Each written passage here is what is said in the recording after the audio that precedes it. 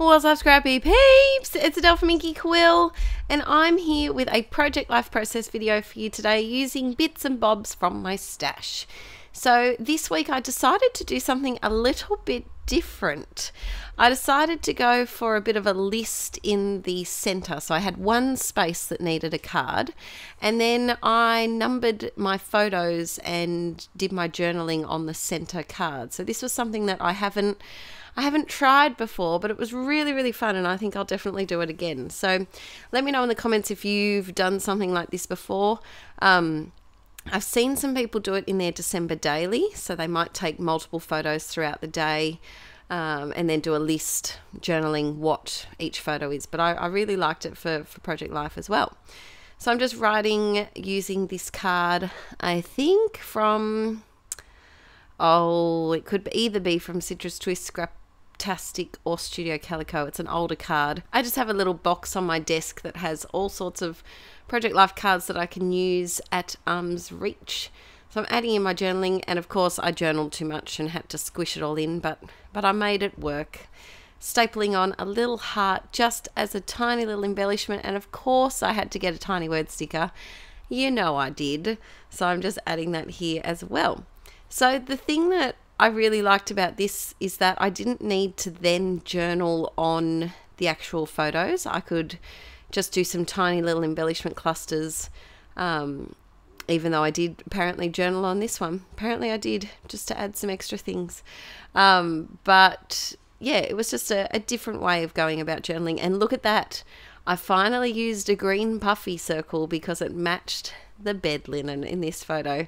Um, a subscriber sent me this while I was really sick, and it's so Poppet and Frida looking after each other in bed. And that's exactly how it would go because Poppet's the bossy, dominant one, and Frida is constantly sucking up to Poppet, and she would be like, Oh, Poppet, are you okay? You okay? It's exactly how the roles would be in that situation. So I started to use these Scraptastic older um, alphabets because I'm not a huge fan of brown. It it's a very tanny brown and it's not a color that I usually use. So I had to make sure now this was a fail. I had to make sure that it had all of the numbers that I needed. And of course, I didn't check that it had two ones for the 10, but I I do a bit of a, a tricky tricky on that when I get to 10. Um, and then I realized that this photo isn't actually journaling number two. There is no two photo. So then I had to put the three on. So I really, really think you need to check your numbers before you start sticking them on. This next one is a picture of herb cheese bread, which, if you watch any of the live streams, you've probably seen me eating it, and oh my goodness, it's freaking delicious. Um, so I made. Did Aaron make me some? I think Aaron might have made it to make me feel better because I wasn't very well in November. I think that's. I think he made it, and I'm just adding that four there. Luckily, the four could come up because I did decide to move it a little bit, and the the embellishing on this layout is really quite quite simple. It's basically the number, tiny word sticker, tiny embellishment. Number, tiny word sticker, tiny embellishment which is quite repetitive, but it's very it's very my style. Now this one I don't think I did any embellishing with because I had already used a filter to put in that little overlay. This is a photo of my school baby shower. So um, I had a baby shower at school joint with another teacher who was also pregnant. And um, so we went for high tea. I didn't have a baby shower with my friends and family. Um, so this was my this was my little hurrah. So I'm just grabbing my Tim Holtz tiny word stickers and adding a little caption here. But yeah, it was really fun to do this one. I really liked it. I really, I'm enjoying trying to do some new techniques in my project life just so I don't get too bored with it. Um, let me know in the comments what what is a little technique that you like to do in your project life? Do you like to do photo collages? Do you like to um, type up big journaling text sections on the computer or typewriter? Do you, what else could you do? Do you like to use a lot of inserts? Do you um, I don't know. What do you like to do? What's a go to technique for you in your project life? I'm definitely going to do this listing technique again. Now, look at that photo. Look at those eyebrows. Look, not eyebrows, look at those eyelashes. So, this is a photo of my darling husband when he was probably about five or six, and he used to do tap dancing.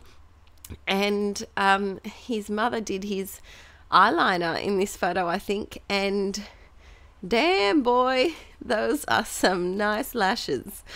Um, Aaron has really long eyelashes at the best of times, but when you put mascara and eyeliner on them, it just makes it even better, so much better. And with the combined with the fringe and the blue 90s eyeshadow, it's just a glorious photo. So we were going through photos to look for what were we looking for? I think we were looking for photos for his brother's 21st um, through Aaron's childhood album and ran across this beauty and I just had to include it in this week's project life because how could I not? How could I not include that? So here's one of Dad and Nellie, big smoocher. I've told the story often. My dad calls Nellie Deli because he calls me Deli, and he calls me Nellie because when you get a, a replacement child like Nellie, you give it a name that rhymes with your actual child, don't you? so this is a photo of Dad and Nellie just having a bit of a snuggle time. I love Nellie, but she is a rat bag. She's an absolute crazy, crazy doggy. Adding a little bit of a puffy sticker and some enamel dots here. And this photo didn't really need any any extra journaling. I just wanted to embellish it a little bit. So then we move on to the next card.